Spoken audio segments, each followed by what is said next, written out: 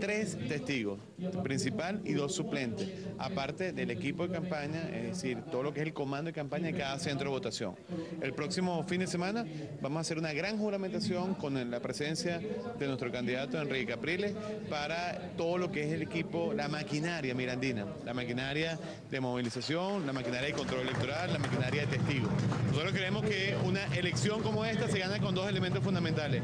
Pasión, que aquí se tiene, y Enrique lo ha demostrado en todos los recorridos que ha hecho en todo Venezuela, pero también la organización. Desde el mes de diciembre vamos a tener un, equipo completo entre el gobierno central y el gobierno regional, aquí en el estado Miranda, para darle resultados a nuestro pueblo. En cada uno de los 79 centros electorales de nuestro municipio de Aruta tenemos un comando de campaña activado.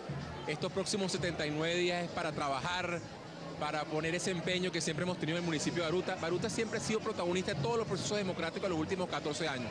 Y tenemos un gran reto en esta oportunidad.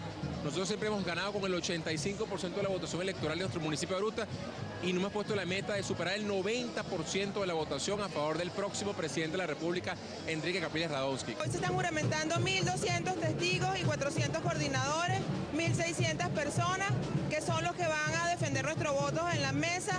Nosotros sabemos y tenemos la seguridad que estas elecciones están en las mesas y las vamos a ganar. Tenemos una organización ejemplar, eh, ya todo listo para las elecciones y bueno, eh, contentos porque sabemos que con la voluntad, con la organización, es que estas elecciones le van a dar el triunfo a Enrique Capriles el 7 de octubre.